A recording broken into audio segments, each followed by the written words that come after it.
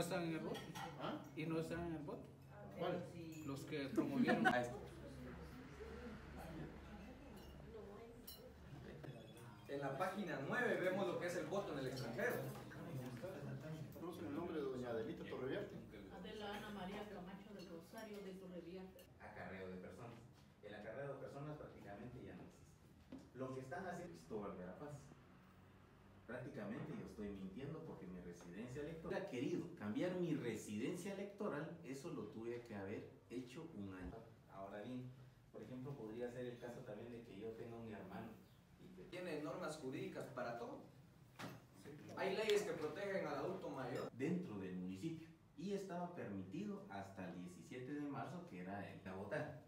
Los partidos políticos lo que hacían eran de que a veces habían ya no puede caminar o ahí queda muy lejos la aldea. ¿Será que puedo votar en nombre de él? Una elección. Pero eso sí está permitido para estas elecciones. ¿Cuáles?